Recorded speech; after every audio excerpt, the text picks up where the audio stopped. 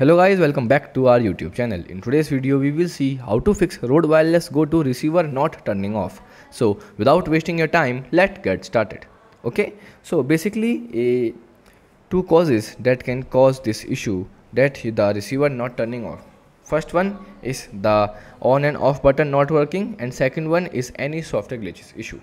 Okay, so to, to solve the first issue, you can firstly simple clean the on off button Sometimes the dirt and drops can cause a, any issues that the buttons is not pressable. Okay, so you can simply clean it and after that you can simply long press it. Okay, sometimes also the users can only press it up to 2 3 to 5 seconds. Okay, but it's not working. Then you can simply press it long as until the display will not turn off.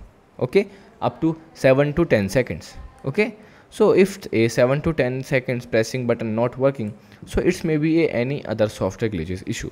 Okay? So in this case you can simple do a hard reset. So to perform a hard reset you can simple press these three buttons together. Okay? 1 2 and 3 until you see that the receivers the transmitters uh, lights are not blinking. Okay? So when you long press it it will take 10 to 12 seconds to turn off completely to do hard reset. Now you will see the receivers sorry the transmitters light are blinking.